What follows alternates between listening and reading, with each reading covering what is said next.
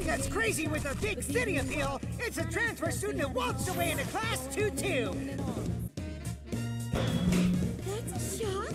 Totally is. I put my dick in a boat. booty, I put my ding dong inside. Stop. They got covered with dookie, Shut up. and I said, Who girl you got Shut up. dookie on my Shut wiener, and it's gross.